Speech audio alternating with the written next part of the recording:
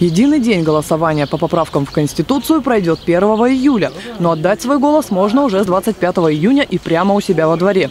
Один из первых шатров для избирателей установили возле многоэтажки по улице Чкалова.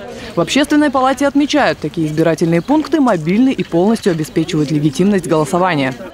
Я думаю, этот формат, он, наверное, ну, в будущем э, будет, наверное, востребован. Это очень удобно. Ну вот шаговая доступность. Мы все эти дни будем объезжать э, без исключения вот, участки избирательные города. Наша цель э, не контрольная миссия, а наша цель убедиться, насколько все организовано. В приоритете сегодня безопасность. Для этого продуманы все меры.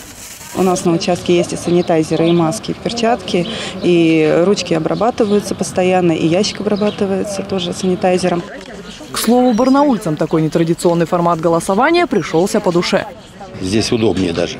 Все рядышком шаговой доступности. Самое главное, что ни очередей, ничего нету. А тем более сейчас такая обстановка, скопления народа никакого нет. Все нормально. Ну, молодцы.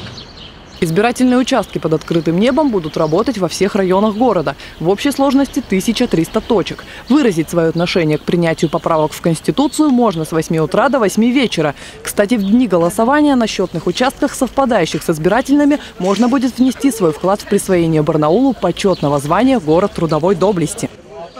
Мария Микшута, Алексей Фризин. День с толком.